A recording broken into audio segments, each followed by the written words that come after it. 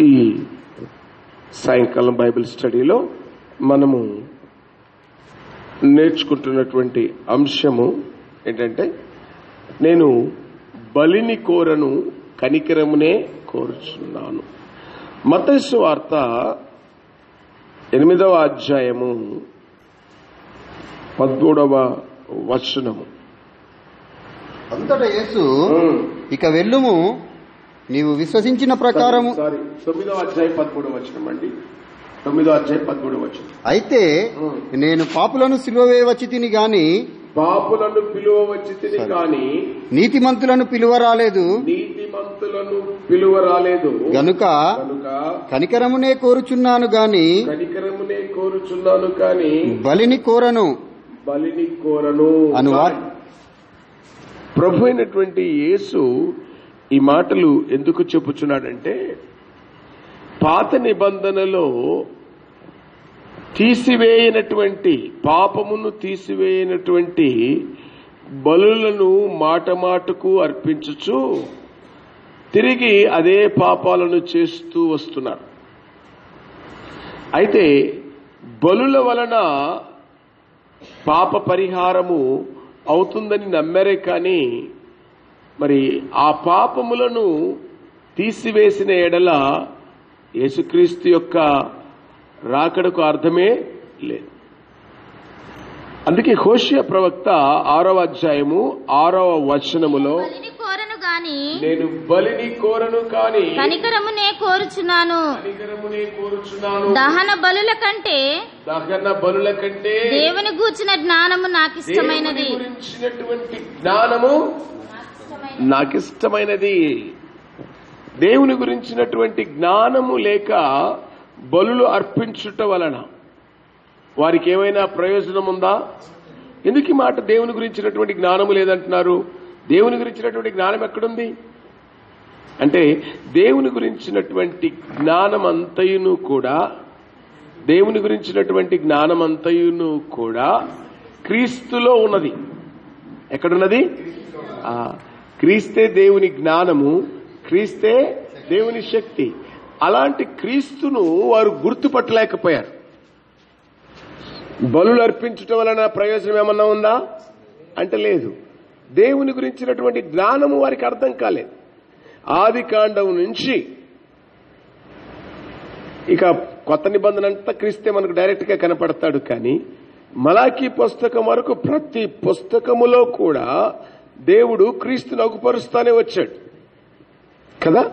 అనేకమైనటువంటి గ్రంథాలను మనం చూస్తున్నప్పుడు వెనక పాత నిబంధనలు ముప్పై తొమ్మిది పుస్తకాలు ఉన్నాయి ప్రతి పుస్తకములో యేసుక్రీస్తుని గురించి ఇంట్రడక్షన్ తోటే చెబుతూనే ఉన్నాడు.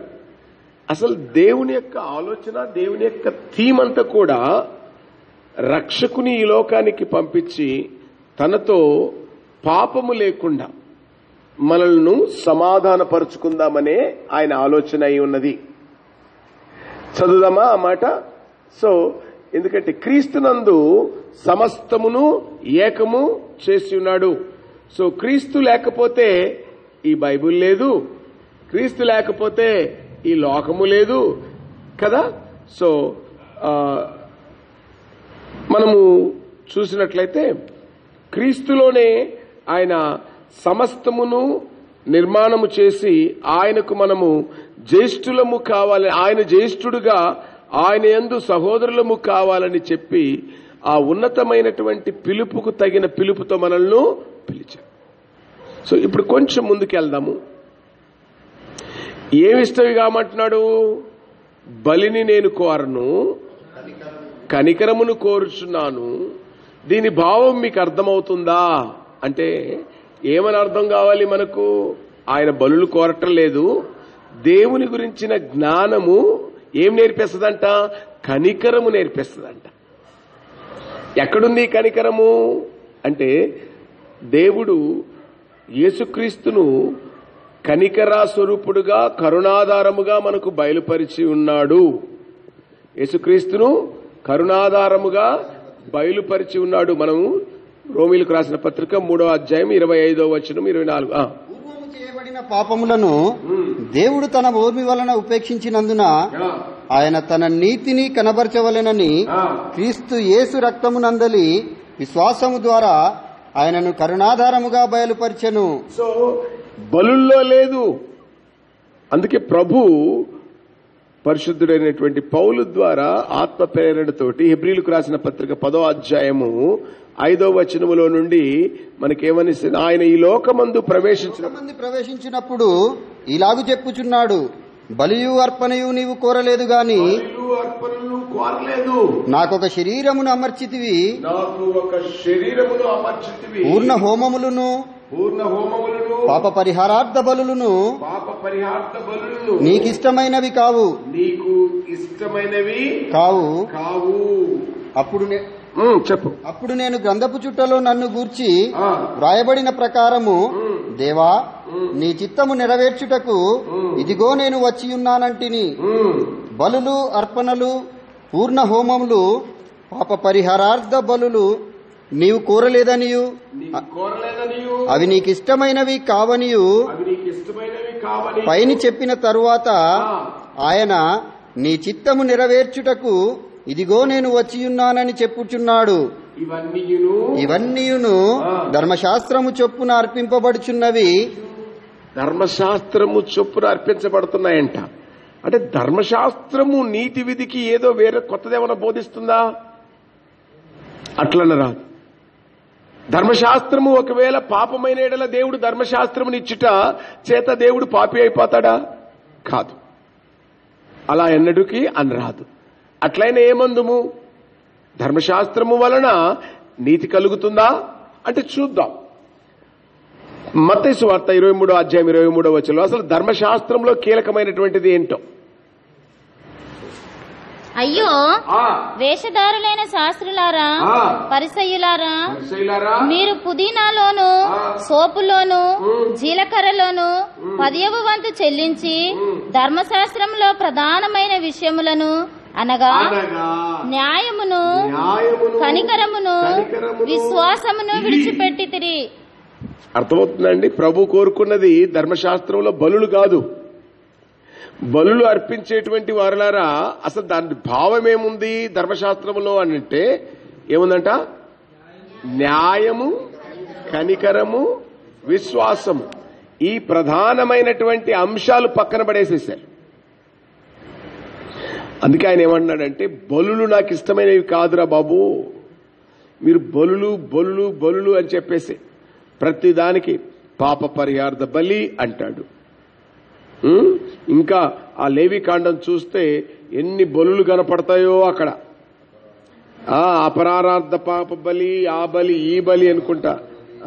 లేవి కాండము సమానార్థ బలి. లేవి కాండము మనము చూసినప్పుడు అక్కడ రాయబడినటువంటి మాట నాలుగవ అధ్యాయము రెండు మూడు వచనాలను చూసి నీవు ఇస్రాయేల్తో ఇట్లనుము యహోవా ఆజ్ఞలన్నింటిలో దేని విషయమైనను ఎవరైనను పొరపాటున చేయరాని కార్యములు చేసి పాపి అయిన ఎడల ఎట్లనగా ప్రజలు అపరాధులగునట్లు అభిషిక్తుడైన యాజకుడు పాపం చేసిన ఎడల తాను చేసిన పాపమునకై నిర్దోషమైన కోడెదూడను యహోవాకు పాప పరిహారార్థ బలిగా అర్పింపవలెను. పాప పరిహార్థ బలి. సంఘము కొరకు కూడా పాప పరిహార్థ బలి అండి. పద్నాలుగో వచనం. వారు ఆ ఆజ్ఞకు విరోధముగా చేసిన ఆ పాపము తమకు తెలియబడినప్పుడు సంఘము పాప పరిహారార్థ బలిగా ఒక కూడదూడను అర్పించి ప్రత్యక్షపు గుడారము యొక్క ద్వారమునకు దానిని తీసుకొని రావలెను. మరి మూడో అధ్యాయం ఒకటో వచనం చూడండి. అతడు అర్పించినది సమాధాన బలి అయిన ఎడల అతడు గోవులలోనిది తీసుకొని వచ్చిన ఎడల అది మగదే గాని ఆడుదే గాని సమాధాన బలి. సమా ఎన్ని రకాల బలులను ప్రభు అక్కడ చెబుతూ ఉన్నాడు. అంటే దీని అర్థం ఏంటంటే అసలు బలి బలి బలి బలి అంటుంటే వాళ్ళు ఫిజికల్గా చూస్తున్నారే కానీ పాపము చేయకూడదురా బాబు. పాపము మనం చేస్తే ఇంకొకరు చచ్చిపోవడం ఏంటి? మనసు కరిగి కనికరం వస్తుంది అనుకున్నారు. అయితే నాలుగో అధ్యాయంలో ఇరవై నాలుగో వచ్చిన చూడండి. ఆ మేకపిల్ల తల మీద చెయ్యి ఉంచి దహన బలి పశువుని వధించు చోట దహన బలి ఇట్లా ఇన్ని రకాలైన బలులన్నీ ఉన్నాయి. అయితే ఇవన్నీను కూడా ఎవరిని సూచిస్తున్నవి? ప్రభు అయిన యేసుక్రీస్తును సూచిస్తున్నవి.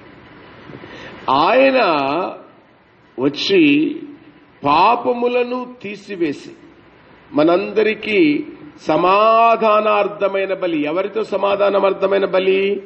దేవునితో సమాధానార్థమైనటువంటి ఒకటే బలిని యుగాంతమంత వరకు ఉండేట్లా ఆయన అర్పించున్నాడు అందుకే హెబ్రిల్కు రాసినటువంటి పత్రిక తొమ్మిదవ అధ్యాయము పదకొండవ వచనం చూస్తే క్రీస్తు రాబోచున్న మేలుల విషయమై. ప్రధాన యాజకుడుగా వచ్చి.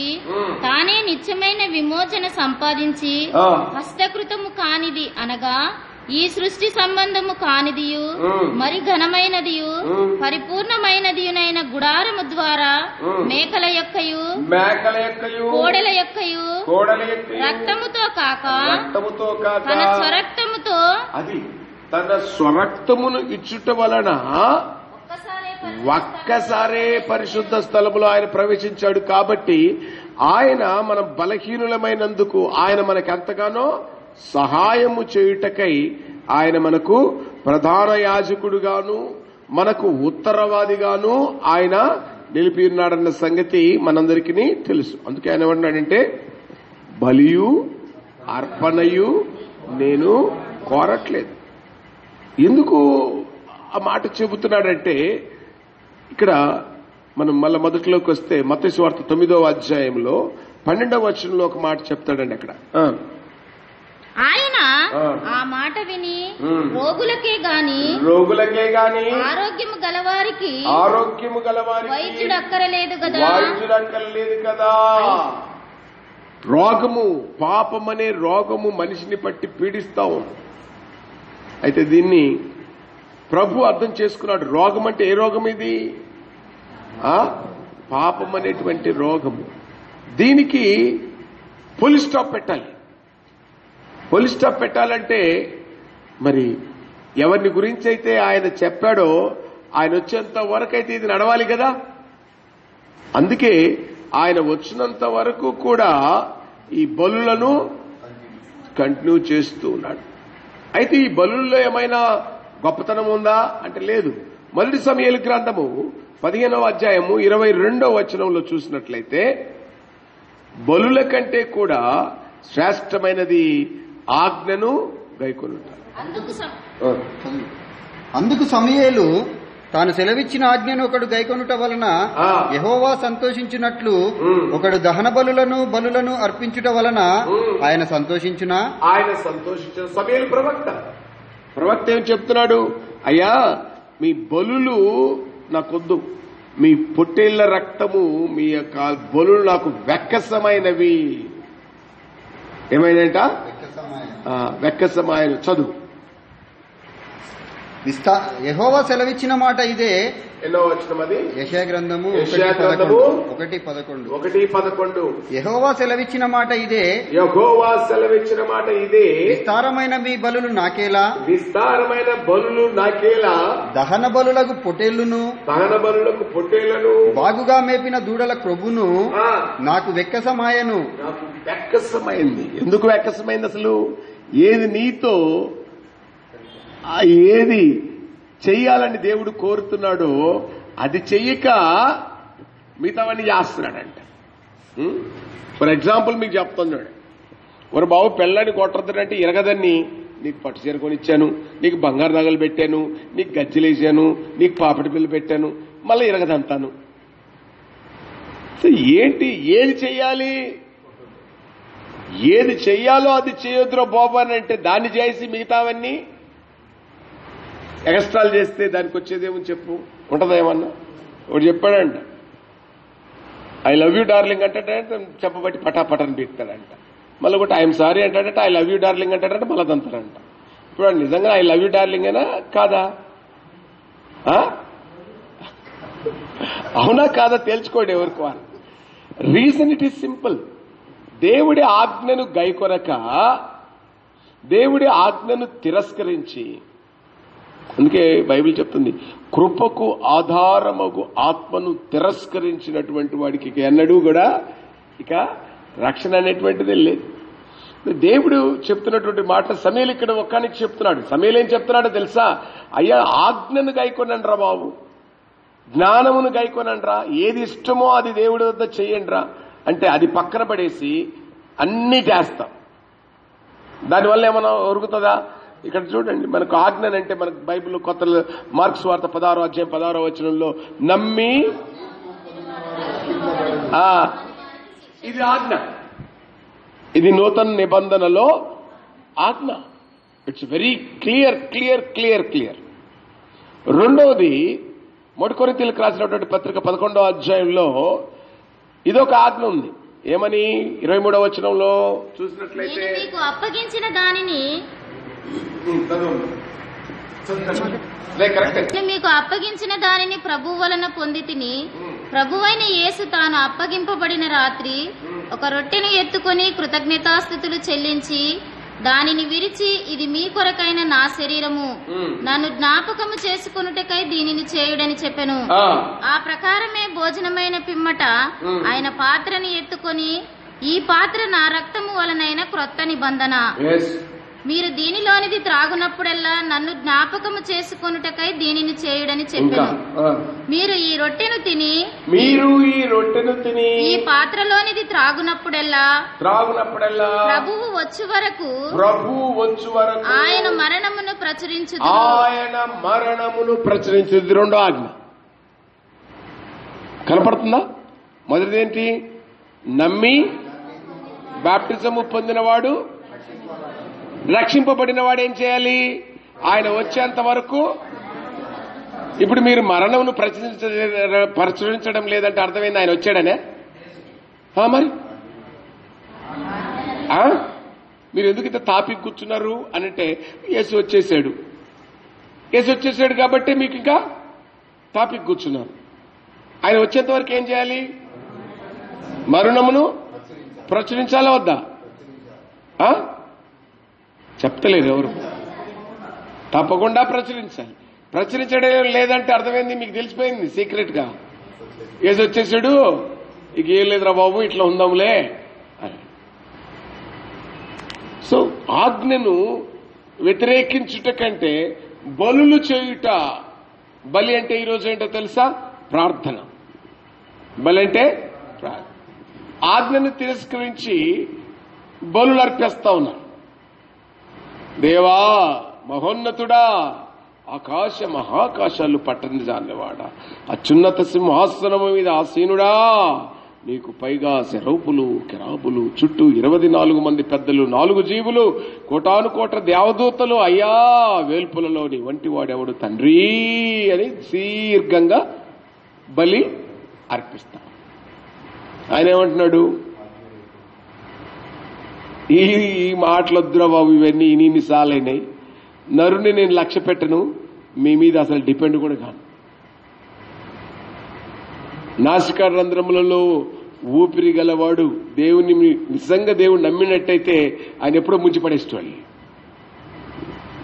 అందుకే ఆయన తన కుమారుడైన యేసుక్రీస్తును లోక రక్షకుడిగా అంగీకరిస్తూ చెబుతూ ఆయన ఏం చెబుతున్నాడో చూసినట్లయితే ఇక్కడ తిమోతి రాసిన మొదటి పత్రిక ఒకటో అధ్యాయం పదిహేనవ వచనములో తిమోతి ఒకటి పదిహేను. పాపులను రక్షించుటకు అది క్రీస్తు యేసు నిత్యమైన బలి ఏమిస్తున్నాడంటే ఇక్కడ పాపులను రక్షించుటకై క్రీస్తు యేసు లోకమునకు యేసు లోకమునకు వచ్చెనను వాక్యము. లోకమునకు వచ్చినను వాక్యము. నమ్మదగినదియు. నమ్మదగినదియు. పూర్ణాంగి- పూర్ణాంగీకారమునకు యోగ్యమైనది ఉన్నది. పూర్ణ అంగీకారమునకు యోగ్యమైనదై ఉన్నది. అట్టి వారిలో నేను ప్రధానుడను. అంటే పాపులను రక్షించాలంటే బలులా? ఆ? మధ్యకాలం నుంచి మొదలైంది ఇక్కడ. అమ్మ బయలెళ్ళిన అదే కోడి పుంజులు మేకలు దొన్నపోతులు? ఇంకా దుర్మార్గులు చిన్న చిన్న పిల్లల్ని కూడా బలిస్తున్నారండి. ఎంత మూర్ఖులండి. ఎంత అజ్ఞానులు.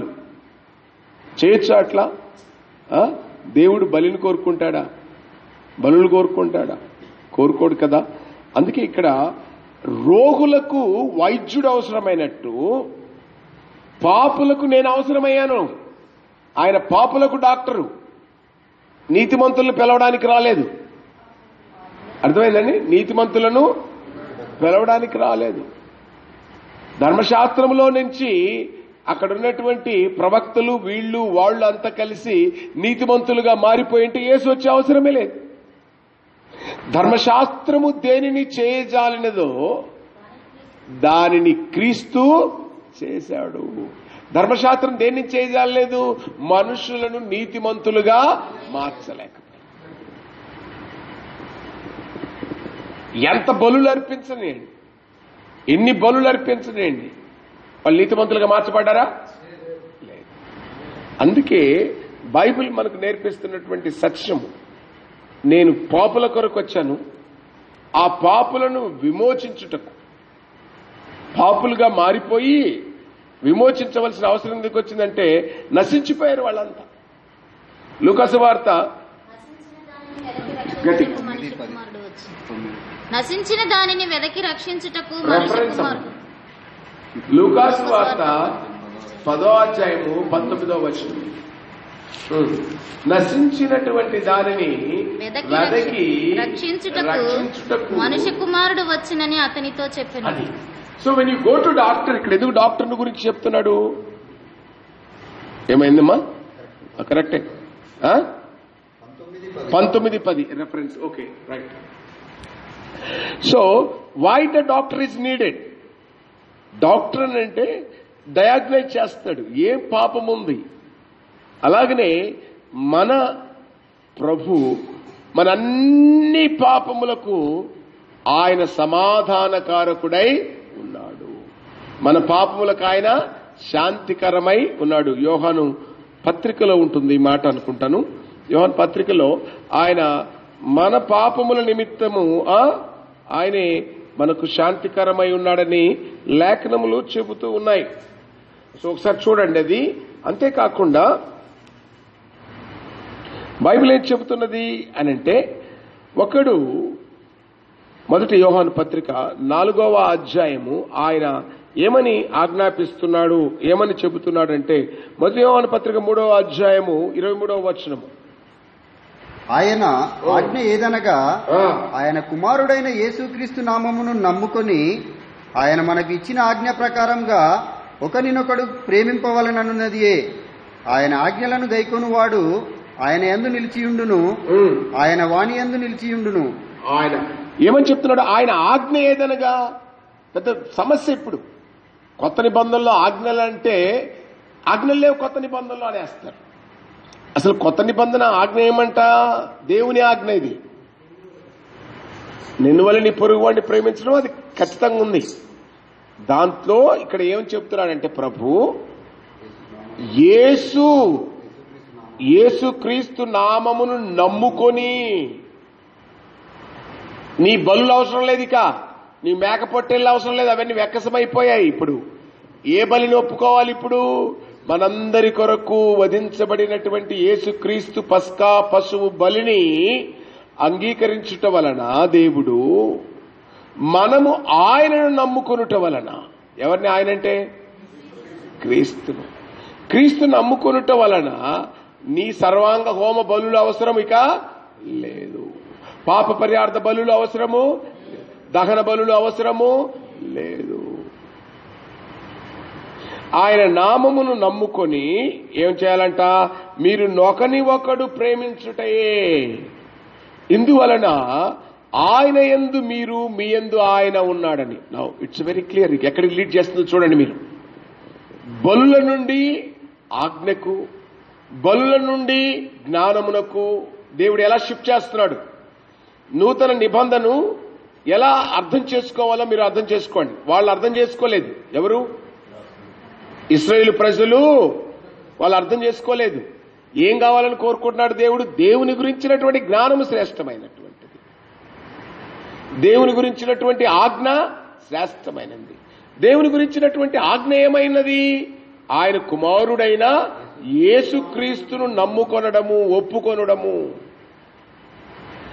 ఇక్కడే క్రీస్తు సంఘమునకు భిన్నమైనటువంటి సంఘములకు డినామినేషన్స్ తేడా.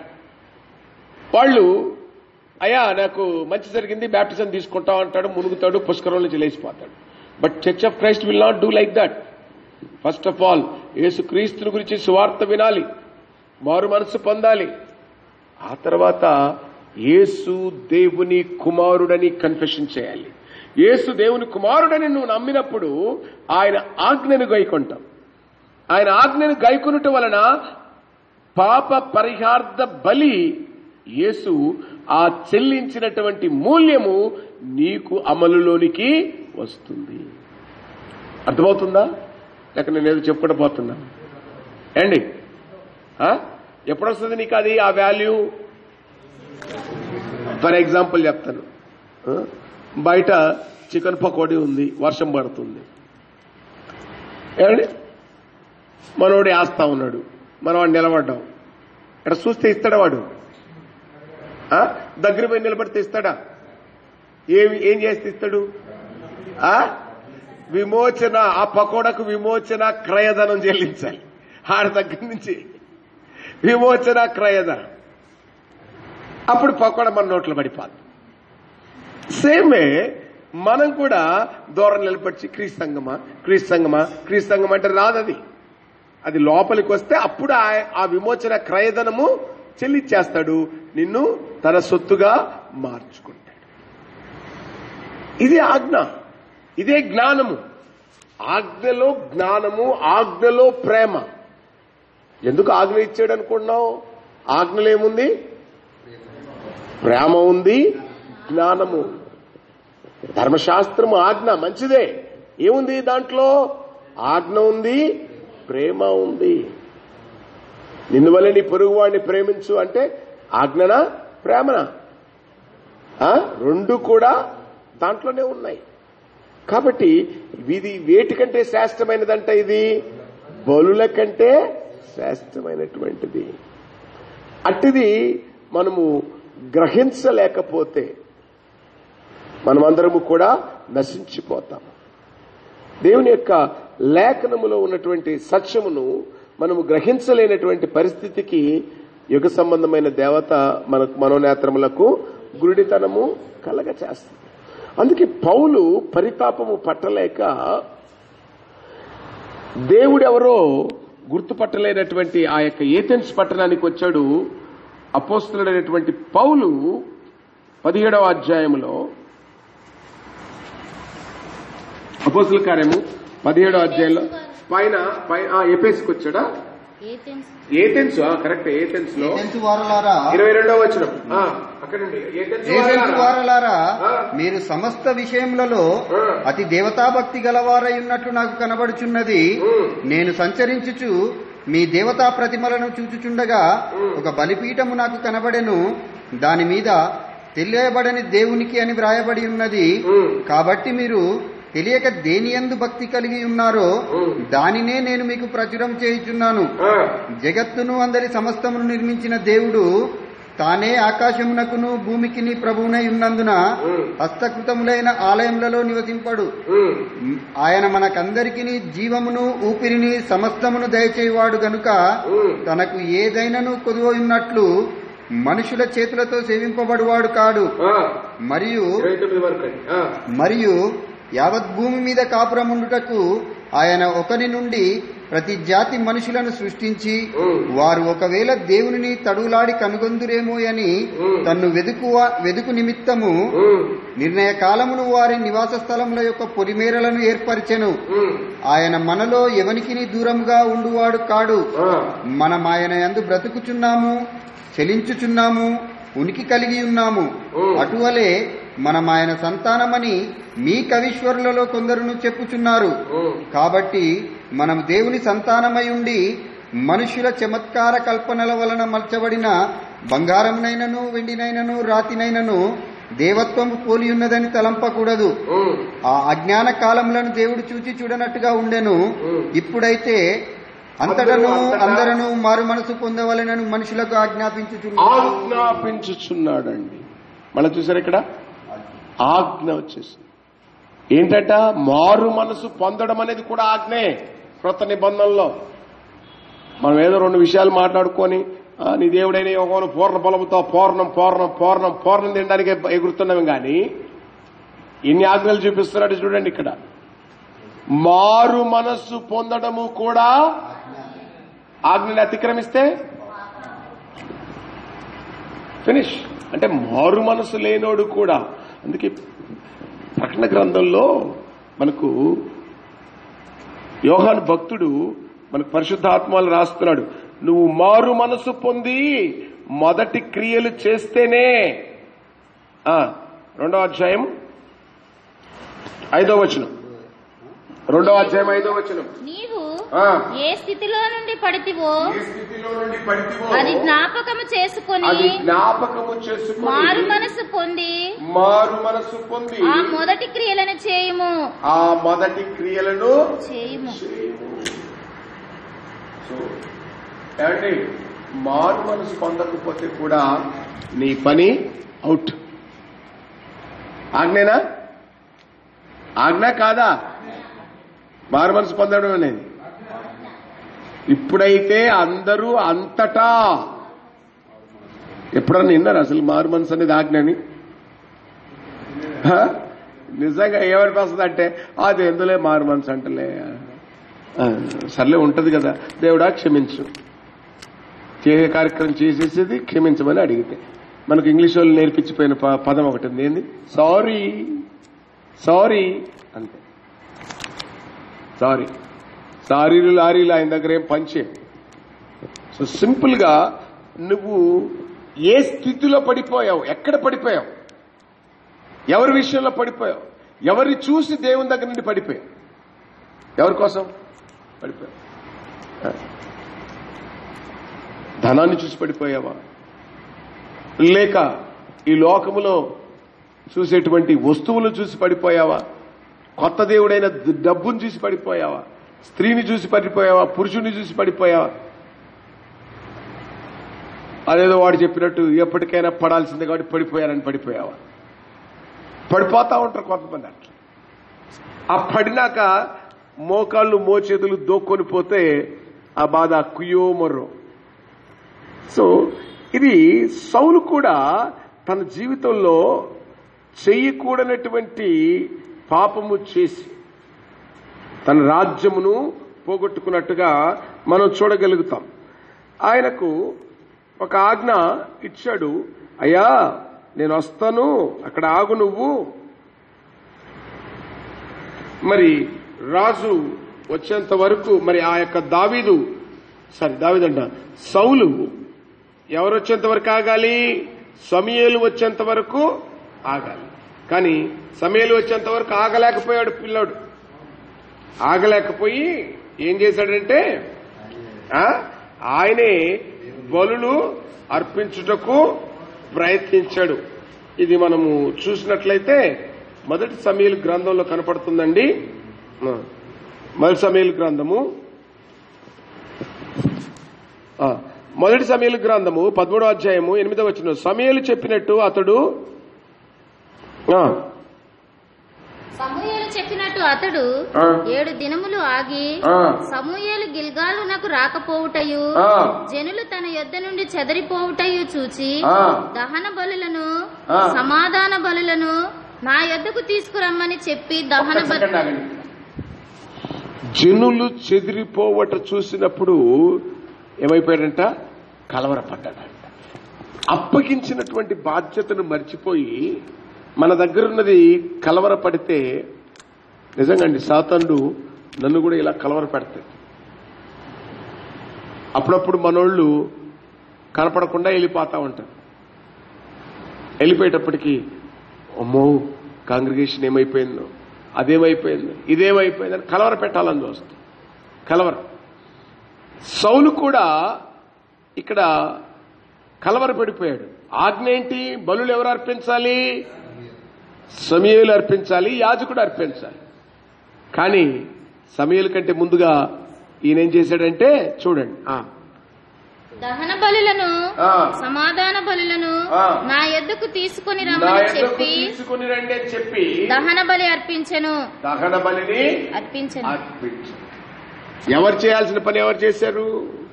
యాజకుడు చేయాల్సిన పని రాజులు చేశారు. తద్వారా నీ రాజ్యము నీ వద్ద నుండి తీసివేయబడును. అది వేరొకరికి ఇవ్వబడును అన్నాడు. ఏంటి రాజ్యం నీ వద్ద నుండి తీసిపోయబడను ఇదే మాటను ప్రకటన గ్రంథంలో మనం చూస్తాం. నువ్వు మారు మనస్సు పొందకపోతే నీ వద్దకు వచ్చి నేను నీ దీప స్తంభమును తీసివేను. ఏం చేస్తానన్నాడు అంటే ఏంటి? నరుడి ఆత్మ యహోవ పెట్టిన దీపము. సౌలు నీ రాజ్యం తీసివేస్తానయ్యా. అయిపోయింది. చివరికి దేవుడు చెప్పినటువంటి లేఖన ప్రకారముగా తన కత్తి మీద పడి తాను చచ్చిపోయాడు. నేడు నేర్చుకుంటున్నటువంటి అంశంలో ప్రియులరా నువ్వు కూడా నేను కూడా ఆయన ఆజ్ఞను గైకొనకపోయిన ఎడల ఆయన జ్ఞానమును స్వీకరించకపోయిన ఎడల మనము అటువలే మారు మనసు పొందక నశించి పోగుదాం ఎవడన్నా కోరుకుంటాడని నేను నాశనం కావాలని? చెప్పాలి. కోరుకోడు కదా? మరి కానీ ఆ దిశగా పని చేస్తుంటాడు. ఎవడన్నా ఇంట్లో పెట్టు కూర్చొని ఇంటికి నిప్పు పెట్టుకుందామని చూసుకుంటాడండి ఎవరన్నా? చేసుకోడు. కానీ మరి ఇంటికి వంటికి రొంటికి నిప్పు పెట్టుకుంటున్నామే. ఎందుకనగా బైబిల్ చెబుతున్నది? నువ్వు మారు మనసు పొందకపోతే దేవుని ఆజ్ఞను గైకొనకపోతే ఎక్కడికి పోతావు? నశించిపోతావని ప్రభు సెలవిస్తున్నాడు. అయితే ఇప్పుడు ఏం చెప్తున్నాడు? పొట్టేలా రక్తమొద్దు ఆజ్ఞను గై కొనుకో ఆజ్ఞను గై కొనము బలు అర్పణ వద్దు దేవుని గురించిన జ్ఞానము నేర్చుకో. దేవుని గురించిన జ్ఞానము క్రీస్తు అయినాడు. క్రీస్తుని గురించి ఏం నేర్చుకోవాలి? ఏం నేర్చుకుంటాం? ఆయన ఒక ప్రవక్తనా? దేవుని కుమారుడనా? నా రక్షకుడు నా విమోచకుడు. మొదటి యోన్ పత్రిక మూడో అధ్యాయము ఎనిమిదో వచనము నుండి చదివితే ఇంకా పైన అపవాది మొదటి నుంచి పాపము చేయించినాడు పాపము అపవాది మొదటి నుండి పాపము చేయుచున్నాడు గనుక పాపము చేయువాడు అపవాది సంబంధి. అపవాది యొక్క క్రియలను లయపరచుటకే దేవుని కుమారుడు ప్రత్యక్షమాయను. దేవుని కుమారుడు ఎందుకు వచ్చాడంటే ఏం తెలుసుకోవాలి? క్రీస్తుని గురించిన జ్ఞానము. అపవాది క్రియలను లయం చేయడానికి వచ్చాడు. చేశాడా లేదా? చేశాడు బాహాటంగా సిలువలో వేడుక కనపరిచాడు కొలసీలు రాసిన పత్రిక రెండో అధ్యాయము సారీ కొలసీలు రాసినటువంటి పత్రిక రెండో అధ్యాయము పద్నాలుగో వచనము నుండి చదువుకుంటూ వస్తే మరియు అపరాధముల వలనను అపరాధముల వలన శరీరమందు సున్నతి పొందగలుగుట వలనను. మీరు మృతులై ఉండగా. దేవుడు వ్రాత రూపకమైన ఆజ్ఞల వలన. మన మీద రుణముగాను మనకు విరోధముగాను నుండిన పత్రమును మేకులతో సిలువకు కొట్టి. దాని మీది చేవ్రాతను తుడిచివేసి. మనకు అడ్డము లేకుండా దానిని ఎత్తివేసి. మన అపరాధములన్నింటినీ క్షమించి ఆయనతో కూడా మిమ్మల్ని జీవింపజేశాను ఉమ్. ఆయన ప్రధానులను అధికారులను నిరాయుధులుగా చేసి చేత. జయోత్సముతో వారిని పట్టి తెచ్చి బహాటముగా వేడుకకు కనబరిచెను ఇది బలులతో ఏం రాదండి దీర్ఘమైన ప్రార్థనలు చేస్తే రాదండి. దీర్ఘమైన ప్రార్థనలు వ్యర్థమైన ప్రార్థనలు మనసు శుద్ధి లేని ప్రార్థనలు. ఏదో తెలుగులో ఒకటి ఉంటది చిత్తశుద్ధి లేని ఏదో ఉంటది ఇది బాండ శుద్ధి లేని ఆ బాండమేళ ఏదో చివరికి వచ్చేటప్పటికీ మనసు చిత్తము చిత్తం అంటే మనస్సు మనసు శుద్ధిగా లేకుండా నీ పూజలు ఎందుకు? బాండశుద్ధి బాండ శుద్ధి లేని చిత్తశుద్ధి లేని శివ పూజ ఏలయ? బాండము అంటే బోండం కాదు. బాండం అంటే పాత్ర. బాండి అంటారు. బాండి. అది కులిపోయింది. దాంట్లో నిన్న మొన్నది అట్లే ఉంది. మళ్ళీ దాంట్లో వేసి అన్నం వండేవు. ఏమైనా పనికి వస్తుందా మరి ఇంతవరకు కులిపోయిన బతికే కదా. కులిపోయిన ఉల్లిపాయలా ఉన్నావు. దాని కులిపోయిన ఉల్లిపాయలు ఏమన్నా కూరలో వేస్తాడా? వై డూ యూ ట్రై నువ్వెందుకు ట్రై చేస్తావు? అందుకే బైబిల్లో మనకు నేర్పిస్తున్నాడు ఈ ఆజ్ఞ అనేటువంటిది కూడా మనల్ని పరిశుద్ధపరుస్తుంది. ఆజ్ఞ ఏం చేస్తుంది మనల్ని? పరిశుద్ధపరుస్తుంది. ఆ పరిశుద్ధపరిచేటువంటి ఆజ్ఞ కాబట్టే ఆయన ఏమంటున్నాడు ఇక్కడ? నువ్వు మారు మనసు పొందు. అంతేకాక ఆయన మనకు చెబుతున్నటువంటి మాటలో మనం చూస్తే మూడవ అధ్యాయంలో ప్రకటన గ్రంథములో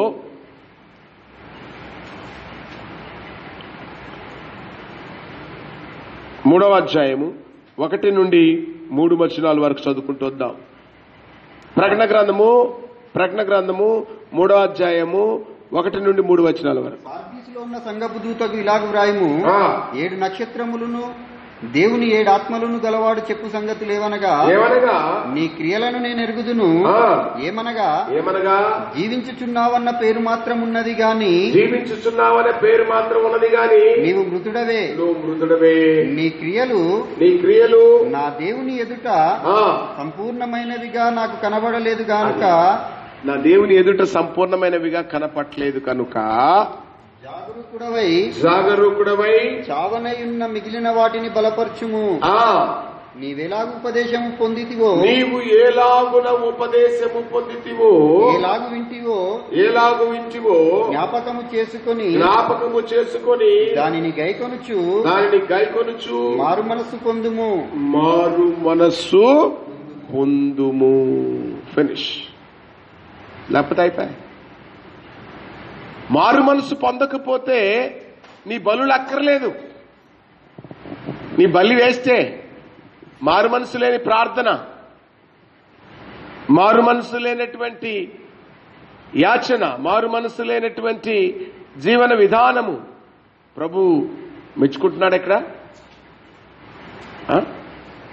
ఎవడికి వాడు హృదయంలో సున్నతి కలిగితే వాడు ఎట్లాంటి వాడైనాడో ప్రభు పట్ల ఎలా బ్రతుకుతున్నాడో ప్రభు పట్ల ఎలా ఉన్నాడో అనేది తెలిసిపోదు.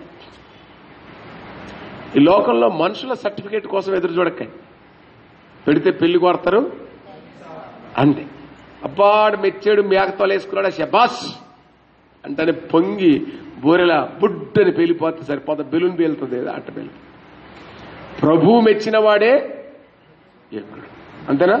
ఎవరు మెచ్చాలి? ప్రభు మెచ్చాలి ప్రభు బలులను మెచ్చుతున్నాడా? జాగ్రత్తగానండి ప్రభు బలులను మెచ్చుతున్నాడా? ఆజ్ఞను అనుసరించిన వాడిని మెచ్చుకుంటున్నాడా? ప్రభు బలులను మెచ్చుకుంటున్నాడా? జ్ఞానము దేవుని జ్ఞానము కలిగిన వాడిని మెచ్చుకుంటున్నాడా? ప్రభు బలులను మెచ్చుకుంటున్నాడా? లేక మారు మనసు పొందిన వాడిని మెచ్చుకుంటున్నాడా? చూడండి ఈరోజు. అందరూ అంతటా మారు మనసు పొందాలనే ఆజ్ఞను ఇచ్చారు. It's a very very important అండి ఇంకా మనము లోతుగా చూసినట్లయితే ప్రభు వద్దకు ఒక ధర్మశాస్త్రోపదేశకుడు అయినటువంటి నికోదేం వచ్చాడు. యోహాన్సు వార్త మూడవ అధ్యాయంలో చూస్తే అందుకు యేసు అతనితో ఒకడు క్రొత్తగా జన్మించితేనే కాని.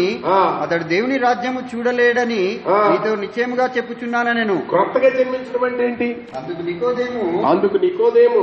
ముసలివాడైన మనుషుడు ఎలాగు జన్మింపగలడు? ముసలివాడైనటువంటి మనుషుడు ఎలాగూ జన్మించగలడు? రెండవ మారు రెండవ మారు తల్లి గర్భమందు ప్రవేశించి తల్లి గర్భమందు ప్రవేశించి జన్మింపగలడా? జన్మించగలడా? అని ఆయనను అడగగా ఆయన అడగగా యేసు ఇట్లనెను ఏ సీట్లను ఒకడు నీటి మూలముగాను ఒకడు నీటి మూలముగాను ఆత్మ మూలముగాను ఆత్మ మూలముగాను. జన్మించితేనే గాని అంటే ఏంటి ఇక్కడ ఆత్మ మూలముగా జన్మించడం అంటే? ఒకప్పుడు హింసకుడను దోషకుడను హానికరుడును. ఇప్పుడు మారు మనస్సు మారు మనస్సు పొందితేనే నీ బలులు పనికొస్తాయి లేకపోతే అది వేస్ట్.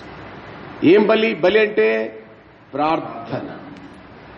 ఇంకొక మాట కూడా మీకు ఖచ్చితంగా ఈరోజు నేర్పిస్తానండి. మతేసు వార్తలో ఈ బలిని అర్పించేటప్పుడు ఆయన ఏడవ అధ్యాయంలో I think it is six అనుకుంటా. రైట్ రైట్ ఆయన ప్రార్థన చేయనప్పుడు ఆయన ఏం చెప్తున్నాడంటే మొట్టమొదట నీవు వెళ్ళి నీ నీకు విరోధులైనటువంటి వారి వద్ద నీవు ఏమంటున్నాడు? సమాధానపడు. ఆ, ఆ? ఐదు చదువు. నేను చెప్పిన నేను మీతో చెప్పినదేమనగా ఆ. తన సహోదరుని మీద కోపపడి ప్రతివాడు విమర్శకులోనగును ఆ. తన సహోదరుని చూచి వ్యర్థుడాని చెప్పువాడు కాదు నాన్న. కింద వస్తుంది కావున నీవు బలిపీఠమునొద్ద అర్పణమును అర్పించుచుండగా. నీ మీద నీ సహోదరునికి విరోధమేమైనను కలదని అక్కడ నీకు జ్ఞాపకం వచ్చిన ఎడల. అక్కడ బలిపీఠమునెదుటనే నీ అర్పణమును విడిచిపెట్టి మొదట వెళ్ళి నీ సహోదరునితో సమాధానపడుము. నీ సహోదరునితో సమాధానపడుము. సమాధానపడుము. అటు తరువాత వచ్చి అటు తర్వాత వచ్చి నీ అర్పణమును అర్పించుము. అంటే ఎవరు అర్థం అంటే అర్థం ఏంటి Nós cremos de.